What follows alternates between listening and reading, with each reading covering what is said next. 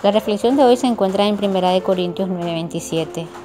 Sino que golpeo mi cuerpo y lo pongo en servidumbre, no sea que habiendo sido heraldo para otros, yo mismo venga a ser eliminado. Todos nos encontramos en una carrera. La sociedad nos obliga a vivir en un ambiente de lucha y competición por ser el mejor. Ganar en todo a los demás parece ser el objetivo de todos. Pero en la vida cristiana nunca debemos competir con los demás o competir con ellos. La vida eterna es un don para todos, pero nuestro Padre Celestial ha preparado premios personalizados para cada uno de nosotros cuando finalmente lleguemos al cielo. ¿Contra quién entonces debemos competir en nuestra vida cristiana según el texto de hoy? ¿Contra quién competimos para que estemos dispuestos a, herir nuestros cuerpos para ganar el premio y también para evitar la eliminación?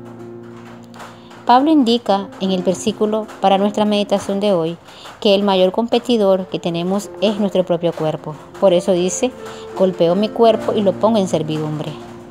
De ninguna manera dice que debemos golpear nuestro cuerpo. Lo que dice es que hay una relación entre el cuerpo y el premio. El cuerpo debe ser siervo del espíritu para ganar la carrera cristiana. Una de las razones por las cuales Pablo se esforzaba tanto y estaba dispuesto a poner su cuerpo en servidumbre, negándole las satisfacciones de ciertos apetitos y deseos, era porque sentía su responsabilidad. Apóstol, el apóstol había predicado a mucha gente, muchos tenían la misma, la vista puesta en él. Qué tragedia ser reprobado y perder la carrera cristiana después de tanto esfuerzo.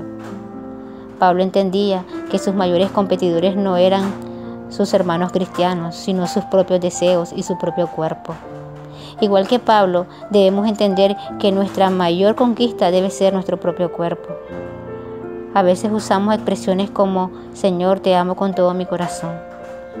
Dios anhela que eso sea una realidad en la vida de cada uno de nosotros. Pero para que sea una realidad tenemos que ser disciplinados para llevar a nuestro cuerpo a ser un esclavo dominado solo por la voz del Espíritu Santo. No debemos olvidar nunca que existe el riesgo de ser eliminados en la carrera cristiana. Los cristianos deberían, deberíamos de poner en servidumbre nuestro cuerpo, su tiempo, nuestra vida, para mantenernos en la carrera cristiana y al final ganarla. Amén. Que el Señor te bendiga.